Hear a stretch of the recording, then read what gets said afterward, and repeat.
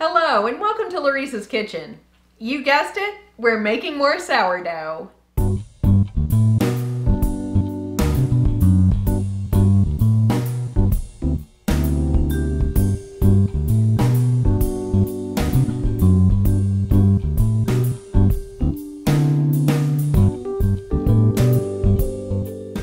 Today we're making focaccia, so we'll be using active sourdough starter.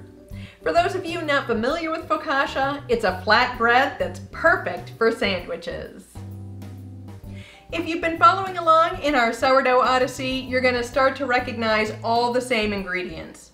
For the focaccia, we'll need starter, salt, all-purpose flour, olive oil, honey, wheat gluten, and water. Of course, the ingredients are always listed right here, as well as the full recipe and instructions in the description box below.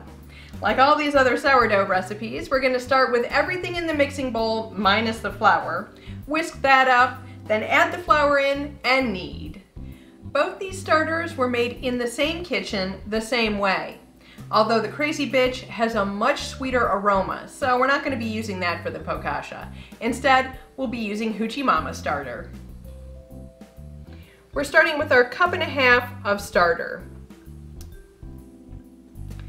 I'm just adding my three ounces of olive oil on top of the water. That way it'll pour out cleanly. If you're not convinced that your starter is strong enough to rise a loaf of bread, you can add yeast. I'm sure this is strong enough, but I'm just adding the yeast in anyway. I know a full tablespoon of salt sounds like a lot, but you need it. We'll also be adding in two tablespoons of honey.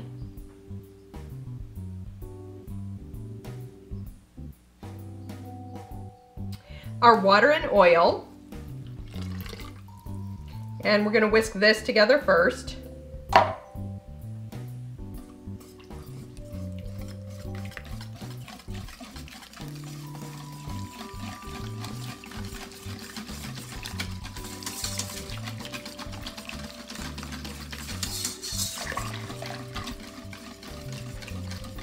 And then for our focaccia, we're adding in a full quarter cup of the wheat gluten.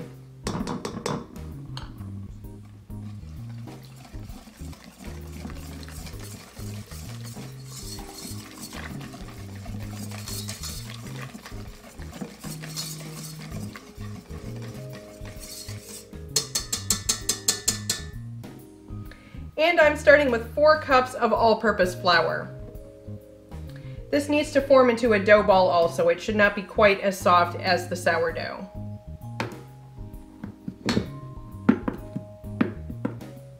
And I do fluff these cups before I scoop them. So my cups turn out to be about 140 grams.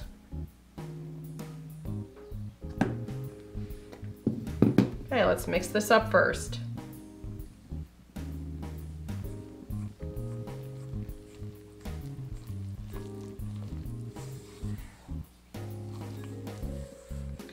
Okay, this looks like it is not going to need any additional flour.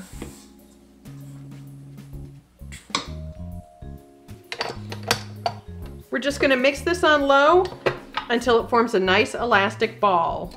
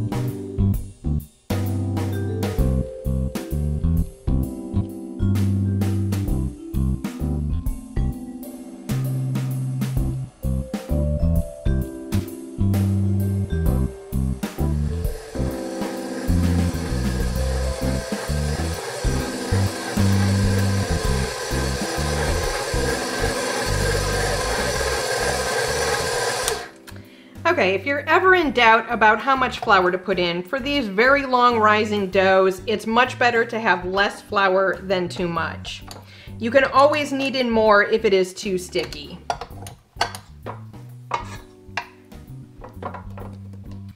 I'm scooping this dough into a very liberally greased large mixing bowl.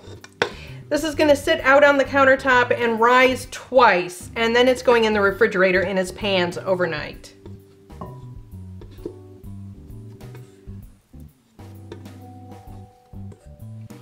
All right, and we're gonna turn this to coat on both sides.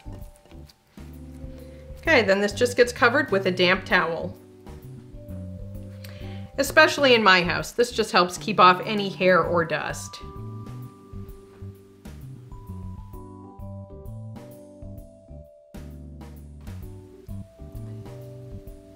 Okay, this has risen nicely.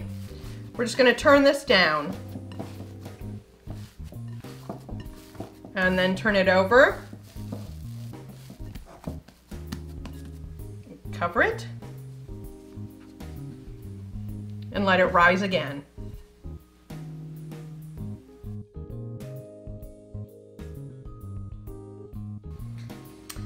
This has only been rising for an additional hour or so. It rises very quickly on the second rise. So now we're getting ready to put this in our pans.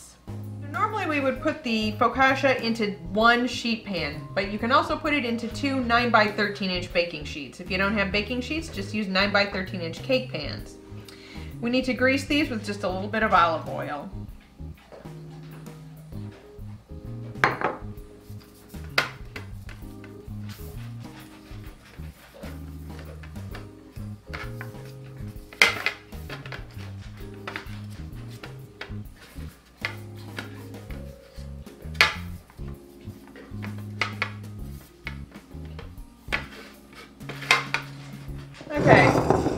I'm gonna divide this dough in half without punching it down too much. So, that's about right.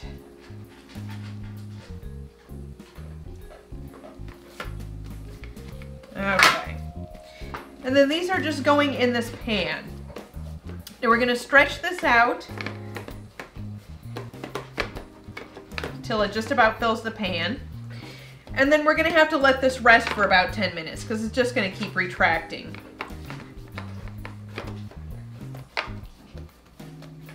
Okay, that's probably all the better I'm gonna get it on this first stretch. Okay, so we just cover this again and let it rest for about 10 minutes. Okay, these have rested for 10 minutes. We're just gonna turn them over, nice and soft. And stretch them to fill the pans.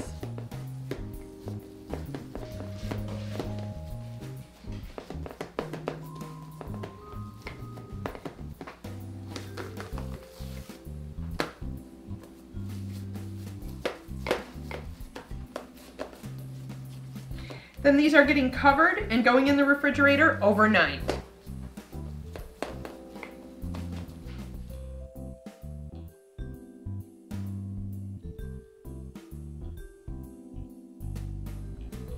Lucky for us, we don't have to wait that long. This is a loaf of focaccia I made last night and put in the refrigerator. It's now been sitting out for about an hour and a half. I have my oven preheating to 425 degrees and it's going to preheat for another 30 minutes. If your kitchen is very cold, allow that oven to preheat for 45. We'll be topping our focaccia with olive oil and flake sea salt. To make our traditional dimpled shape in the focaccia, we just use our fingertips and we're gonna press down. Now we don't wanna deflate this too much, but we do need to get all the way to the bottom.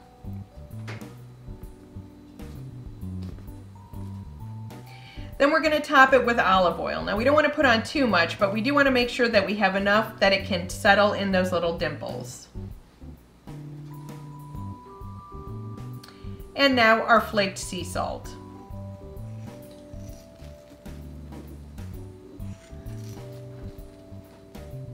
Once that 30 minutes is up, this is going in for 18 minutes. Now it did take me four times to get the exact time right, so 18 minutes may not be right for you. The original recipe says 15 to 20. 15 was way too light and 20 was just overdone. We want this to be nicely golden brown. I have a skillet in there to add just a little bit of mass to the oven. That way it helps recover when we close the door.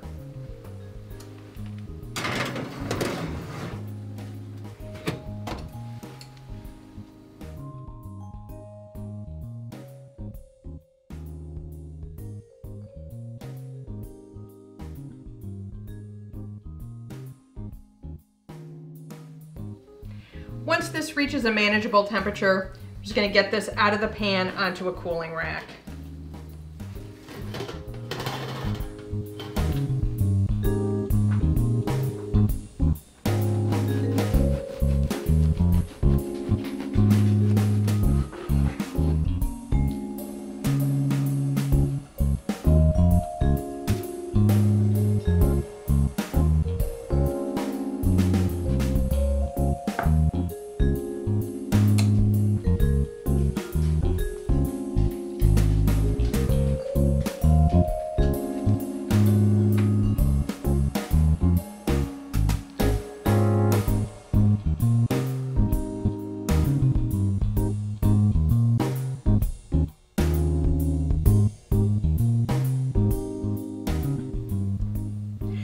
Time to give our focaccia a taste, and I've turned mine into a pork loin sandwich. If you'd like to see how I made that, the link to that video is at the end of this one. Let's give this a taste. It's awfully big. Oh yeah, so good.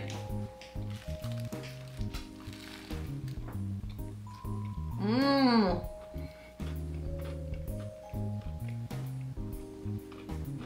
So good. This bread is perfect. Thank you for visiting Laurice's Kitchen.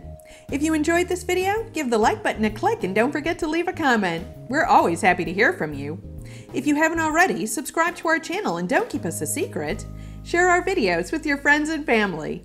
You can follow us on Facebook for behind the scenes pics and videos and on Twitter for upcoming videos and the random cat picture.